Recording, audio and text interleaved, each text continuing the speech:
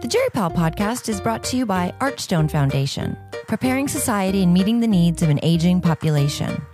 And now, here are your hosts. Welcome to the GeriPal podcast. This is Eric Widera. This is Alex Smith in um, home quarantine. Well, I'm not actually in Yeah. home quarantine. I guess I'm in. Uh, You are In, social uh, distancing yourself. I'm from me. social distancing. I'm. Um, what do we call it? It's not lockdown. Shelter in place. Yeah, I'm in shelter in place. That's what I am. And for because this is going to come out a little while from our recording. This is March 18th. We are still kind of in the middle of the pandemic. Um, hopefully, going to prevent the surge. We'll see what happens when we actually get this published out. But we have a special guest with us today.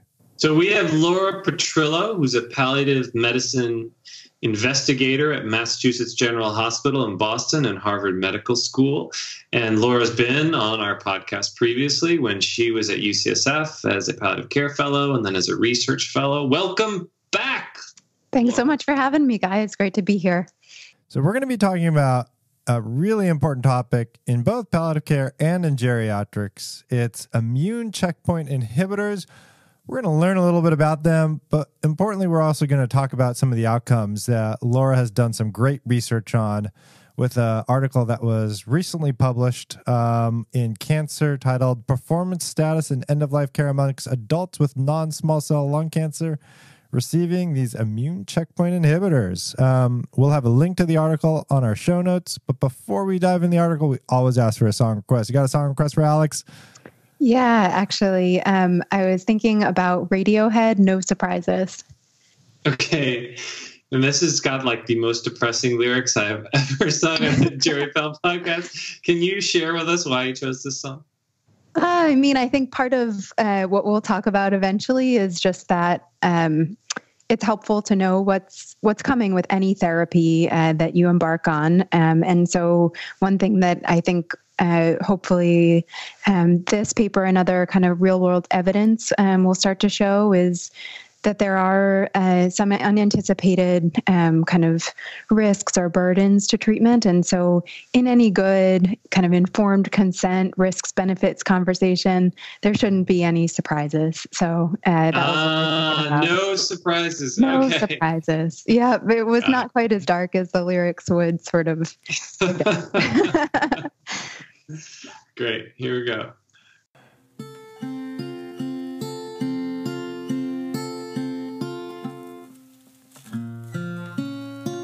You look so tired, unhappy. Bring down the government. They don't, they don't speak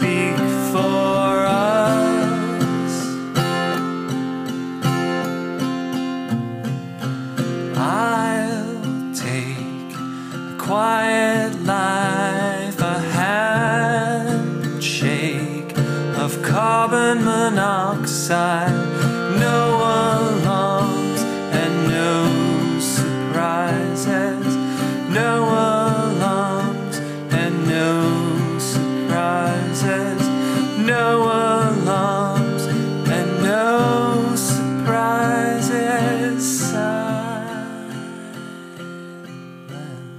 I miss you in my office, Alex. I, I can't control your mix here. Yeah, I promise I won't actually insert the real Radiohead uh, version. uh, so, Laura, immune checkpoint inhibitors. Like, how on earth did you get interested in this subject? So, uh, immunotherapy, which is just kind of the whole class of medications that use the immune system to fight cancer, um, is a kind of new paradigm of cancer treatment, incredibly important, transforming the landscape for so many different types of cancer. And so, just as a palliative care clinician, uh, currently I mostly care for people who have cancer, um, and just seeing people live longer, have really different outcomes um, with uh, immunotherapy than with uh, traditional chemotherapy, and yet sort of, I also noticed uh, that there were differences in some kind of end of life experiences that people were having, and wanted to just see what we could see in the data and um, explore a little bit about what is happening for people who are not typically represented in clinical trials. And can I ask you, when, you embarked on this, kind of what what were you seeing, kind of boots on the ground, as far as any concerns or differences? Yeah, so um, people who um, may be familiar with immune checkpoint inhibitors and immunotherapy um, from seeing it in the news, Jimmy Carter uh, getting immunotherapy uh, for his cancer um, and having a wonderful response, and others, and a lot of uh, things in the, in the media just of these incredible stories of um, people having good responses to immunotherapy. Um, but one of the phrases that was sort of bouncing around clinically was no one dies without immunotherapy. And that was because, mm. you know, as a, in contrast to chemotherapy, which, you know, cytotoxic chemotherapy, which can be so toxic with so many side effects at the end of life, you know, when you're thinking about risk and benefits and kind of framing those conversations, there are these really clear trade offs between feeling worse with the hope of gaining some more time um, versus focusing on quality of life.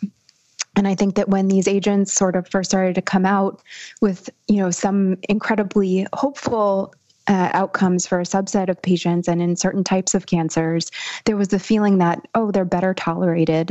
You know, they have a whole range of bananas side effects, which we can talk about separately. But at the at the outset, they seem like they're better tolerated in general. And so the feeling is kind of why not? If someone is otherwise, you know, either not in shape to receive chemotherapy, they've already received chemotherapy, Here's something that is kind of better tolerated, what is the harm in trying one of these, you know, potentially a miracle agents um, for someone who would otherwise be transitioning to hospice? And so immune checkpoint inhibitors are in sort of there are different indications across different cancer types. Um, they're most widely used in uh, melanoma, lung cancer, uh, head and neck, renal cell cancer. There are a lot of um, there are a handful of cancers, but they're varying in terms of how successful they are. They're very successful in in melanoma and lung cancer. They've been helpful and widely used. So when they were first approved for lung cancer, though, they were approved in that second line setting, so previously treated patients. And I think that that affected that attitude about trying them prior to making a transition to comfort focused care. Mm. Can we, taking a step back, um, can you describe for our audience who, some of whom may have heard of immune checkpoint inhibitors or immunotherapy, yeah. some of whom may not, um, what is an immune checkpoint inhibitor in sort of really lay terms? Sure. And what, what are some examples of drug names they might be familiar with? Absolutely. So, in general terms, um, the way that immunotherapy works is trying to get the immune system to be activated to fight cancer. And so, in general, you know, when the immune system sees any type of invader, like a bacteria or a virus, um, it's activated to recognize not self. But c- cancer cells typically sort of shut that off the same way that our own self cells shut that response off. And so, immune checkpoint inhibitors inhibit that inhibition of the immune system. So they say, immune system, come on over, attack the cancer cell, um, because that kind of little shield is no longer up to protect the cancer cells. They inhibit the pathway that is inhibiting the immune response. And so that is partly why we get those really crazy immune related adverse events, the kind of side effects of checkpoint inhibitors, uh, because the immune system is activated and then can uh, attack other tissues in the body. Can you tell us some of the common side effects that we should kind of know about in both geriatrics and palliative care? Yeah, absolutely. So, interestingly, the most common side effects are very nonspecific. So, they're like fatigue, nausea. But then there are very important side effects like uh, pneumonitis, uh, which is inflammation in the lungs, obviously, and um, can cause uh, uh, serious respiratory problems, colitis, um, so attacking the gut cells um, and causing uh, bloody diarrhea, um, and uh, rash is common. Um, but then there are these uh, even uh, more kind of toxic side effects like uh, myocarditis, um, which can have a high fatality rate. So most of the fatalities from immune checkpoint inhibitors are from uh, kind of some of the more severe. Uh, immune related adverse uh, events like myocarditis and pneumonitis. There are some other wild ones like uh, neuro side effects um, that can attack the neuromuscular uh, system, and so um, can cause side effects that can be paralyzing. Um, Mm. And so there's and transverse myelitis. I've seen a lot of kind of crazy things. So any basically any system in the body can be attacked um, and cause uh, side effects that sometimes will mimic known autoimmune diseases. Um, but sometimes are entirely new phenomena, and we're we're actively learning about them now. Mm. You know, kind of in real time with patients. There are some Mhm. that were observed in um, clinical trials, but there are certainly more that are becoming more Mhm. clear um, as they move into pr- prime time. And what are some of the common medications or drugs, names of these immune checkpoint inhibitors that our audience might be familiar with? Yeah, absolutely. So pembrolizumab um, is one that's used commonly in lung cancer that we will talk about. Often used in combination with uh, platinum doublet chemotherapy, um, and then the nivolumab um, is another one. Ipilimumab. Um, so you might hear Ipi and Nivo. They have these like cute little short names: Mhm. Ipi, Nivo, Pembro. That, that's great Um, because I never know how to actually pronounce these. They're Yeah, It ends in MAB. That's the key. It does, but that's not uh, that that's uh, not specific. There are Right. others. So there are other drugs that end in MAB that are not immune checkpoint inhibitors. yeah, yeah, but the ones you'll see the most often are nivolumab, uh, pembrolizumab, ipilimumab, atezolizumab. Um, yeah, those are some And of them, but this they're is still more. terrible. Yeah. Those are the generic names. yeah, Um, what are the you know the brand names for these, just in case Yeah. our audience have heard of some of those? yeah. Yervoy, Opdivo, and Keytruda. Keytruda. Keytruda, Yeah. the commercials for Keytruda. Yeah, exactly. I think all the MABs are monoclonal antibodies, and then um, That is true. uh, yeah, and then Yep, you kind that of go from there. Yes, but not. Uh, I guess not all MABs are checkpoint inhibitors. Yeah. So the checkpoint inhibitors are either the PD-1 inhibitors or CTLA-4. Um, so they're both working on that pathway that is helping the cancer hide from the immune system or stopping the cancer from hiding from the immune system. That's great. Um, anything else by way of background that we we should know about immune checkpoint inhibitors? Yeah, I mean, I think that the main thing to know is just that uh, in settings like melanoma, for example, they are just having such a drastic effect on survival. So, metastatic melanoma survival after a diagnosis would be kind of less than a year. Uh, previously, when we were sort of in the in the pre uh, immunotherapy era. Now, there, there had been IL 2, which actually also worked by affecting the immune system, but it was not very well tolerated, so it wasn't used a lot. Um, but when immune checkpoint inhibitors came along, we now have patients living years. And for some Mm. oncologists, we'll even use the word cure for people with metastatic melanoma. So it is a Wow. difference. And it doesn't, you know, those kind of results don't happen for every patient who receives these drugs. Um, but the hope of that kind of long term, I use the word kind of durable, durable response um, as opposed to cure, because I think that, that we're still sort of learning. But uh, there's just that hope that, you know, that will be the miracle drug. And, you know, I kind of, um, I'm on some Facebook groups of patients talking about these drugs, and they're so excited and so thrilled with the kind of long-term response they've had. And, I, and I've had plenty of patients too who just are living you know they didn't expect to live to their daughter's high school graduation they're living to college graduation. And it's just they don't even know it's just so incredible. So there's a huge amount of optimism and I think that it is very much warranted. And these are really exciting drugs that are transforming the landscape and you know combinations are coming out and ways to make uh, them even more effective um, and other Mhm. ways to use the immune system uh, to fight cancer um, that are are different kinds of immunotherapy that are it, the hype and enthusiasm i think is is really um, is warranted. I'm a believer but i think that just from the supportive care point of view there's a lot to understand. Um, and there's also a lot to understand for kind of all adults not just the ones that are in clinical trials. So that's why we set out to do this study. Yeah, so I mean, it's a good segue to we're we're seeing a lot of people get this, even people with exceptionally poor performance status, and how do they actually respond to these um, uh, new treatments? Do you want to tell us a little bit about kind of what you did in this study, kind of sum it up as far as who was included and kind of the, the methods of it? Sure, absolutely. So, in clinical trials, um, as you know, um, they'll usually limit people, uh, limit participants to people who have who don't have a lot of comorbidities and who have good performance status, which is you know the oncology lingo for functional status, um, who just are not limited in their uh, activities of daily living or in their amount of activity um, in any way. And so, uh, it's not an entirely representative population, particularly of previously treated patients with cancer. And so, in in our study, we did what kind of a real world study. Um, it included all people who had received uh, immune checkpoint inhibitors over a period of time, um, over about two years, um, and just looked at their survival outcomes, or the length of time from the time that they received the checkpoint inhibitor. Um, and then we also looked at some other kind of end of life healthcare utilization outcomes.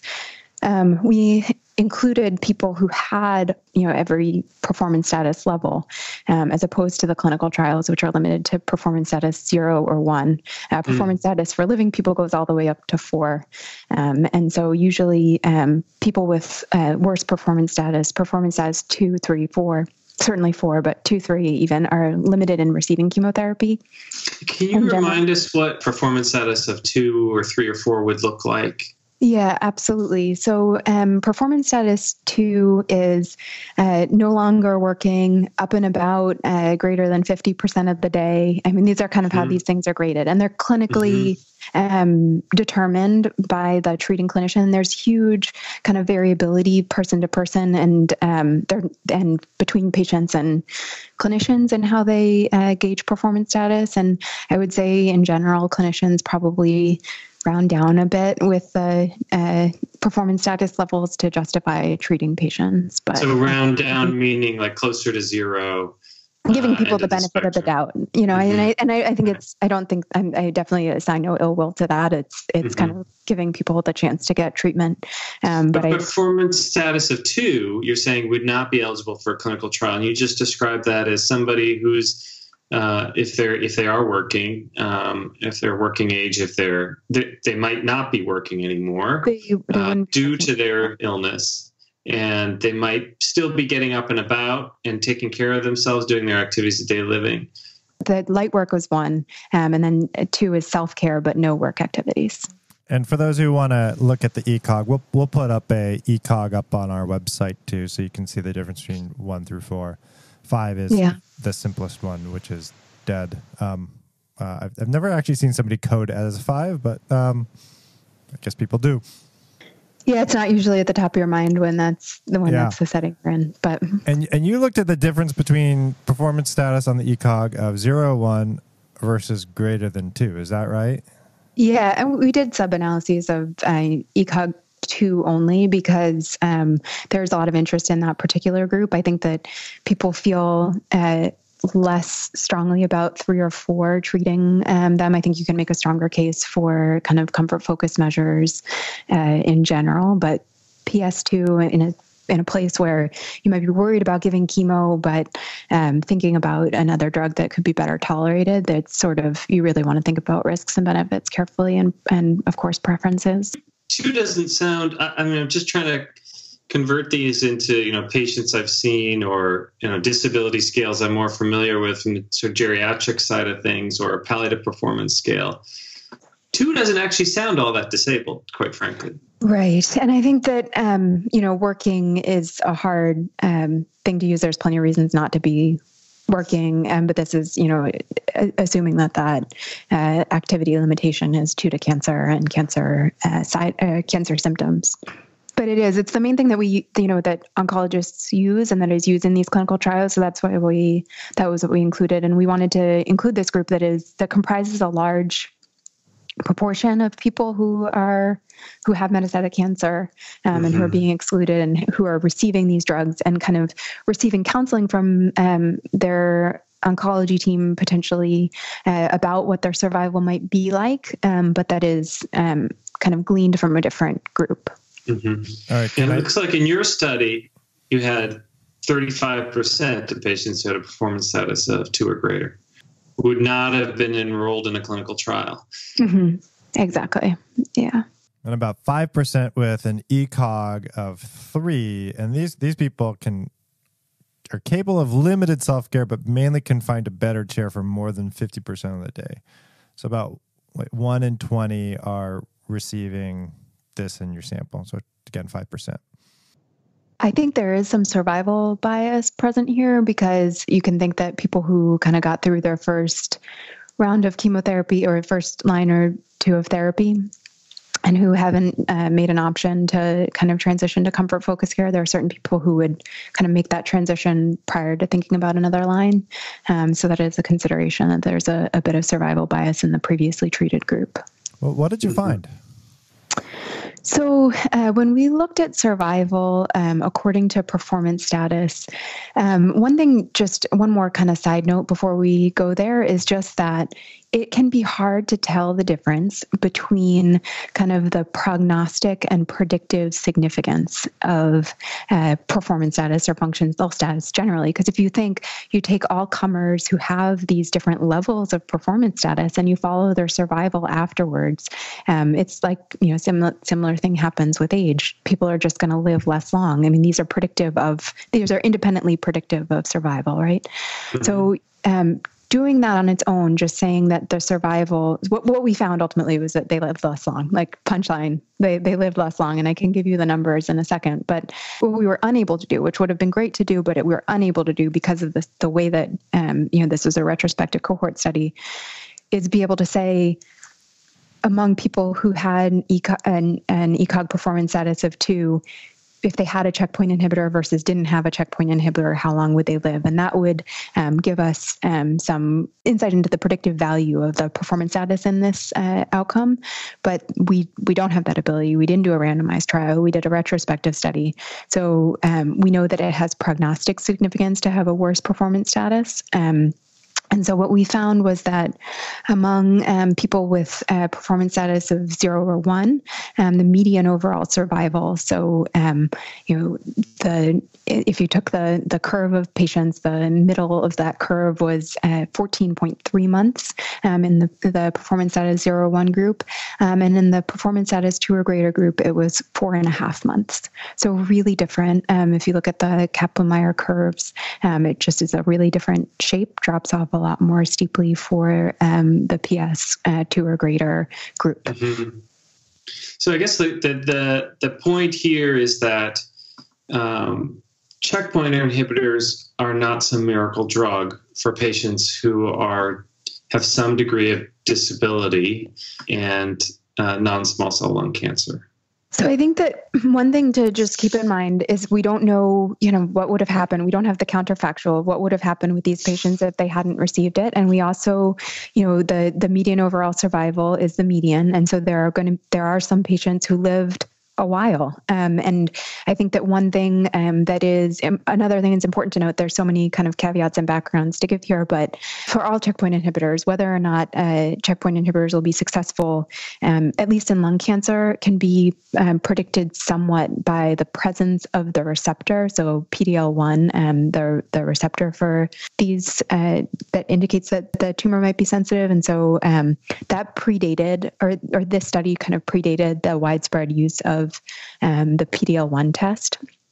So um, it may be that there's a subgroup that does well here um, that might be indicated by uh, having uh, the presence of PDL1, um, and it may be that you know without these people did worse. So what we can say clearly right. is that people with uh, worse performance status don't exactly do as well as the people with performance status zero or one. So you can't just extrapolate those clinical trial results when you're having a conversation with an adult with functional impairment. Well, I'm gonna I'm gonna I'm gonna push you, Laura. Uh, having done this study and getting the results that you have, uh, does it inform what we should do maybe differently in either geriatrics or palliative care when we're caring for individuals who maybe thinking about starting these medications um, or are on them?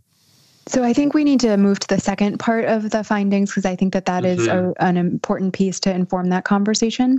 So part of what I was curious about from my clinical experience was, you know, if proceeding with this idea of no one dies without a checkpoint inhibitor, does that, is there an opportunity cost in terms of the conversations that people are having about end of life, their preparation for end of life, how they're kind of del- receiving their care, um, and whether they've made, you know, transitions and how that care is being delivered.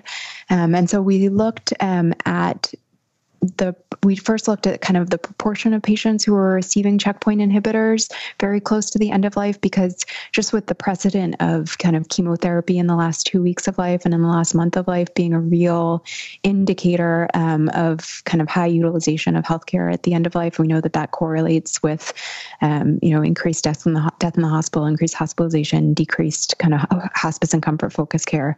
So we looked to see if the same was true here if people who got checkpoint inhibitors close to the end of life also had differences in the end of life care that they received. Um, if this sort of Hail Mary approach uh, to kind of end of life treatment forestalled any of that um, type of care that we, you know, that we, not every person believes that that's the optimal type of care, but if, if it did in general uh, delay uh, that type of end of care. And we did. We found that uh, patients were kind of less likely to receive hospice care, um, that they were more likely to die in the hospital, um, and uh, they were more likely to have been hospitalized in the last uh, month of life uh, than people who had who didn't receive checkpoint inhibitors in the last month of life. So it was um, similar to chemotherapy, um, something that affected um, the end of life uh, outcome. And I mean, I think that you can. It makes sense. It's logical. Um, people are receiving checkpoint inhibitors, they may have one of these crazy side effects, or you may have heightened suspicion for one of those side effects. And so, you know, something that might be a symptom of uh, cancer progressing or just a cancer related symptom might um, in, in in a time when we're trying to understand and learn more about these um, these immune related adverse events might prompt admission um, to a greater degree. So people were were hospitalized more often. They in fact did experience these uh, side effects and I think that that was a reason for some of these hospitalizations. Um, and just the other thing to know is that it takes a little while to have a response. Um, you have to kind of get the immune system going. And for people whose cancer was on a timeline to be close to the end of life, and you don't necessarily have that time for the for the effect to, to work. So you never really know um, when you see a patient in front of you how long they have. But functional status is one of our best clues, right? So you think we've got mm-hmm. these um, patients who have um, kind of worsened functional status, and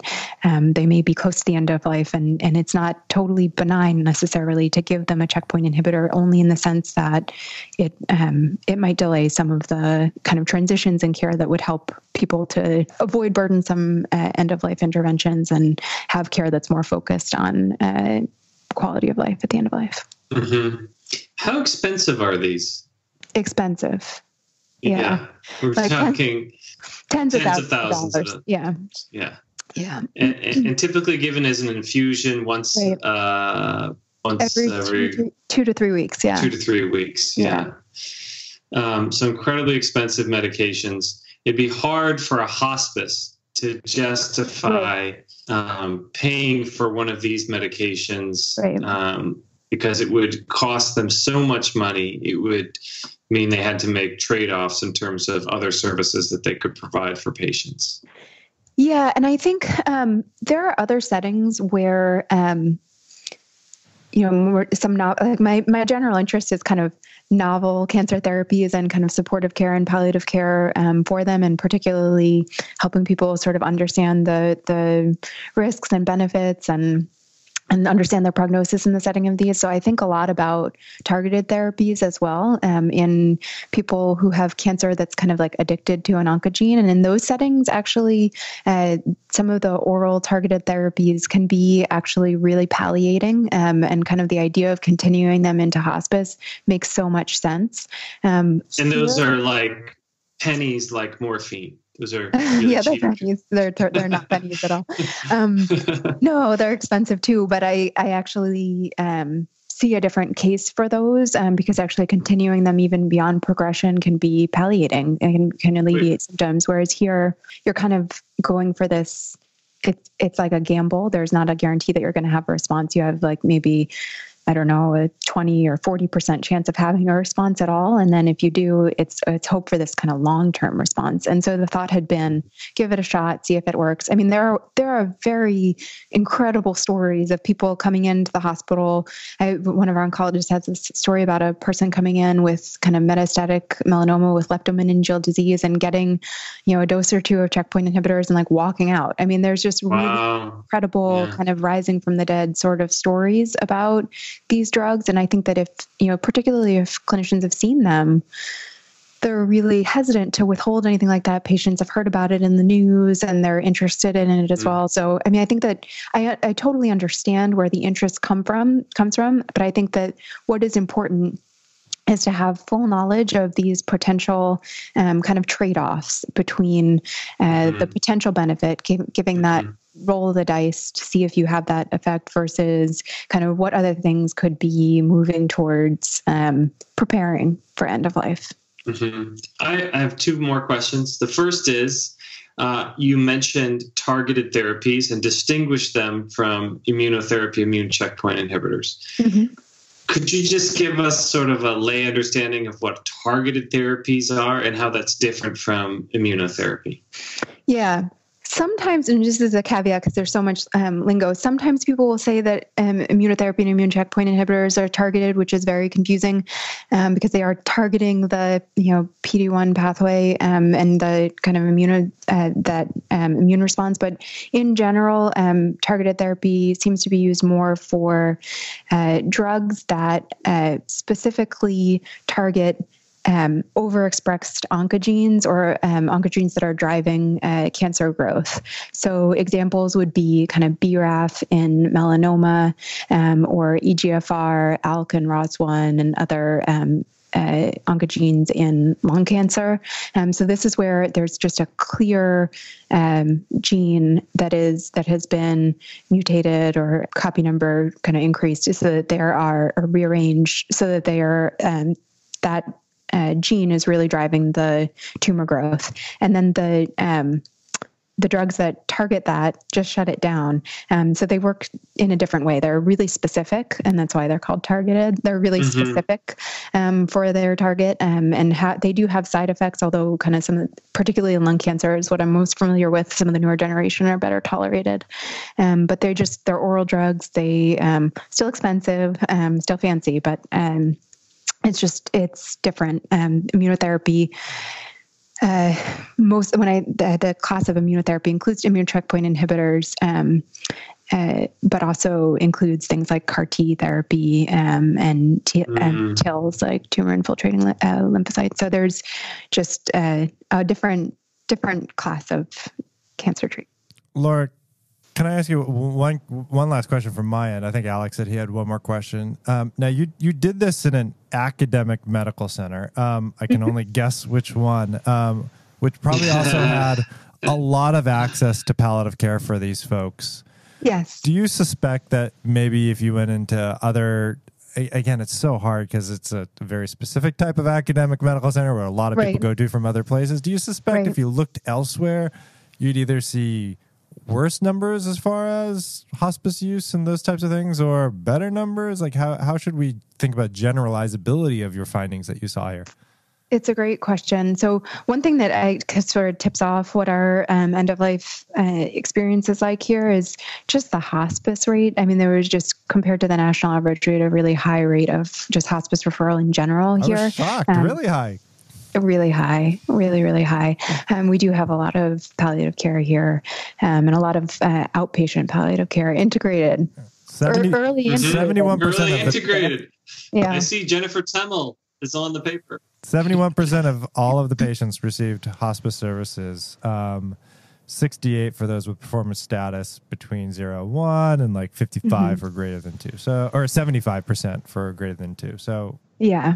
And yet we saw differences. I mean, I think that there and and and there wasn't really differences in um I couldn't look at palliative care, receipt of palliative care actually because we have so many palliative care studies here that uh people were getting palliative care through other studies. So it wasn't necessarily that they were referred by their clinicians independently.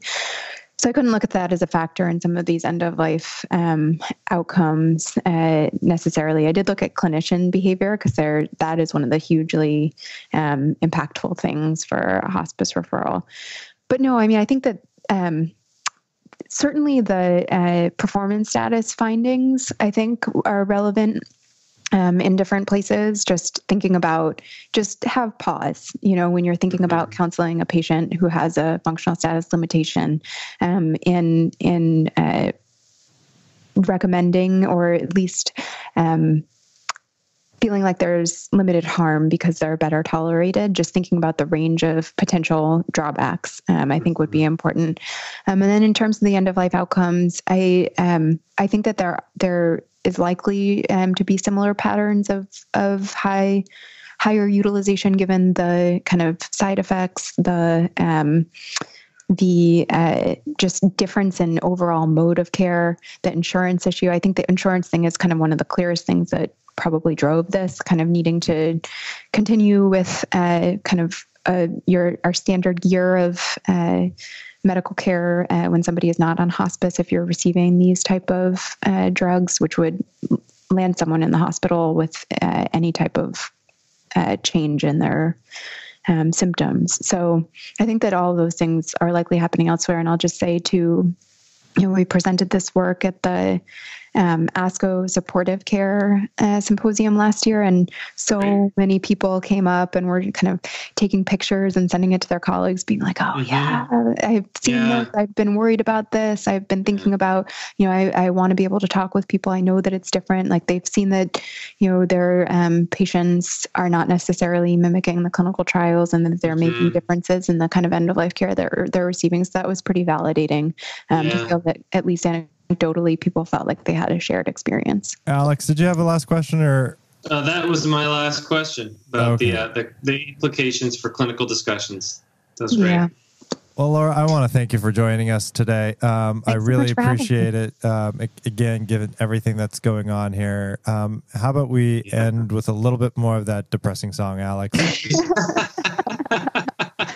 The, the song gives it away, right? We've been able to talk about a non uh, COVID topic for this amount of time, but you know It my is head's true that at least at this time, the majority of patients were taken care of. Uh, in fact, all of the patients on our palliative care service not, uh, do not have COVID. Um, that may change over time and may have changed by the time this podcast comes out. But we'll go back to this song that has the the lyric "I'll take a quiet life, a handshake of carbon monoxide." Which I to, Uh, to think of just how grim that lyric is. A heart that's full up like a landfill, a job that slowly kills you, bruises that won't heal. You look so tired, unhappy. Bring down the government. They don't, they don't speak for us. I'll take a quiet life, a handshake of carbon monoxide, no alarms and no surprises, no alarms and no surprises, no alarms and no surprises. very nice. Laura, a very big thank you for joining us today. It's always great to see your face and hear you. Um, Alex, it's good to see you greater than six feet away. And to all of our listeners, thank you for joining us today. Um, and a big thank you to Archstone Foundation. Thank you, Laura. Thanks, guys. Great Bye, to see everybody. you. Bye. Take care.